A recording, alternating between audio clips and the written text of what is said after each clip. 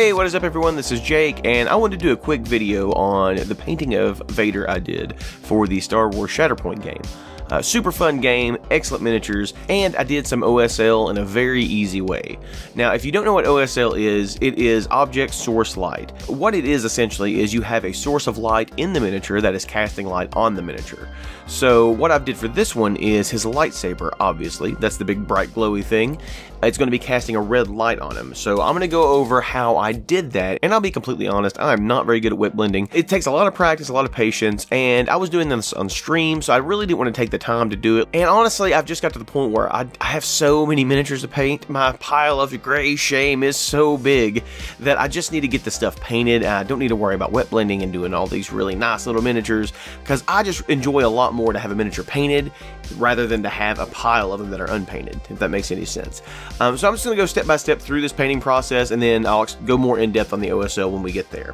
And I apologize for the quality on this video. This was actually taken from a live stream I did a couple weeks ago, and I really liked how it turned out, so I kind of wanted to just talk to everyone about it and, uh, and kind of how I did it. But uh, I'll be doing more in the future, and definitely will be spending more time focusing on the actual miniature, because it was kind of hard to keep it in frame the whole time while talking to people on stream, and also I may have been drinking, so yeah, it makes it even harder. So first off, easy enough with Vader, I primed him black, which made him about 90% completed, which was pretty sweet. I'll drop a little note here. When priming, you want to always make sure you do real quick dusting coats. You don't ever want to slowly coat and cake up the primer on an object, especially on a miniature, because it really starts killing the detail really fast. You want to just lightly mist. And this is a Rattle Can Primer. Rattle Can Primer works absolutely fine for priming your miniatures. You just got to know how to do it well. You just got to, from at least 8 to 10 inches away, you want to just make sure you dust over them. And it covers it really well. I use the Rust-Oleum 2X Cover Black uh, Flat Primer, and it works perfectly fine. It's not too shiny, it's not too glossy, it's not too matte, it's just right. And originally I had painted the lightsaber red, but you don't want the lightsaber to be red because it's going to be casting a red glow. And the reason for that is the object that is going to be casting light needs to be brighter than the light it's actually casting. So I painted the lightsaber pink, like a good bright pink color, and then took a straight red and started dry brushing where it was going to be casting light on.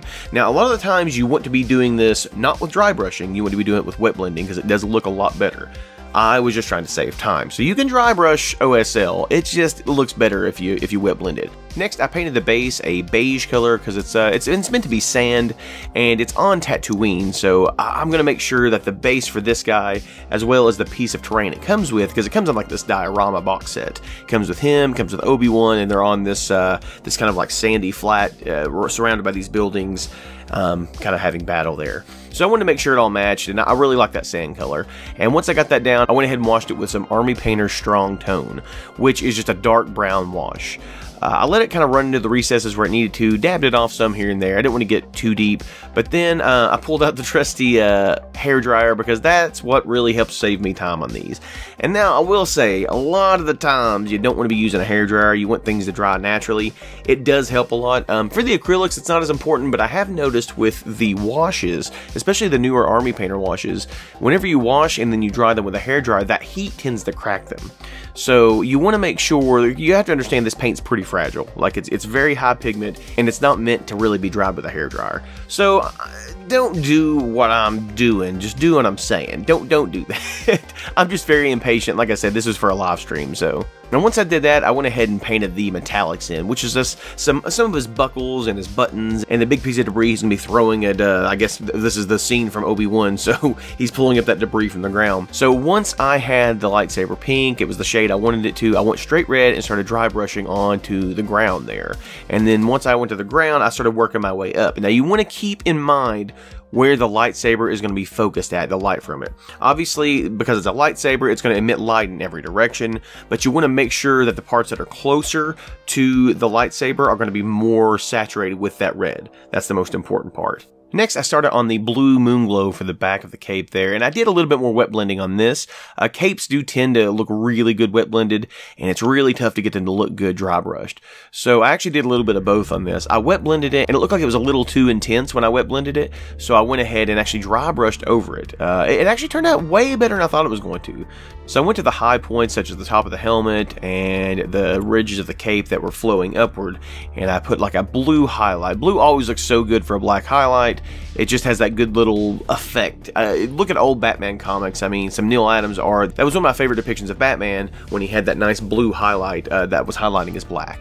So I always like to do that on black capes and things like that, highlight with blue, because it just looks really good and looks really natural. Once I got the ridges of the cape and stuff highlighted, and I went ahead and edge highlighted where I need to edge highlight, I went to my next color and made it a little bit brighter. And what you want to do is just you want to make the lines a little thinner and a little thinner. So you start with your base blue there, then you make the next one a little lighter and make that line a little thinner. You want to be able to sell the blending of the darkness to the lightness with that blue. Now this is the most important part when you're doing your dry brushing or you're doing your wet blending even with your OSL. You want to make sure that the brightest areas are the areas that face towards the object and are the raised areas like where the highlights would be.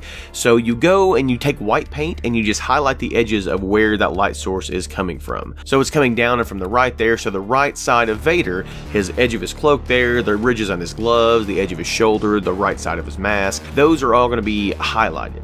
And once you get those in there and you start dry brushing over them or wet blending over them, the areas are going to pop way better because you're dry brushing over a white base rather than a black base. I know that sounds pretty basic, but these are little things I didn't really think of until I started doing them and I saw them online and I saw people doing them. I was like, oh my god, this makes so much sense. So I'm just trying to, you know, help you guys along with that too.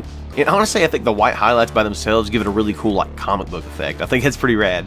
And by this point, I was getting really excited to do it. So once I got that done, I started dry brushing with just that straight red again. And you can notice here, it looks awesome like right away. It starts selling really, really quickly. Because where you have the same tone going over everything, but you have those white highlights, you have certain areas that pop.